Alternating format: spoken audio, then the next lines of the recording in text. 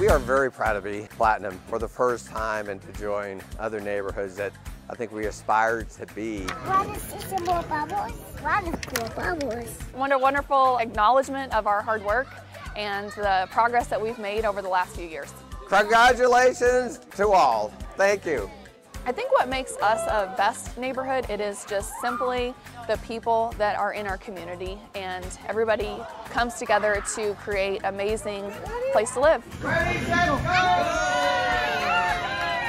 We put in a lot of work and time and energy and effort into making our neighborhood what it is today.